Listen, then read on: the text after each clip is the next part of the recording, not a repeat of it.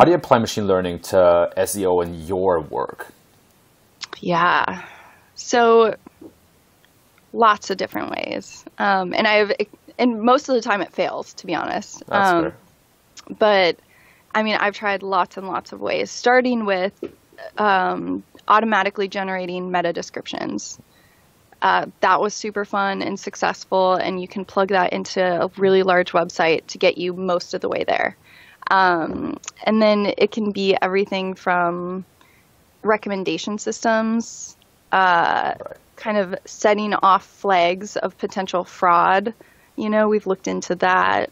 Um, and most recently, I have been exploring various types of machine learning to solve for categorizing keywords intent.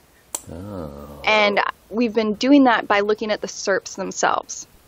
Because, quite frankly, we all know Google houses the world's information. They know what someone is looking for when they do a particular search.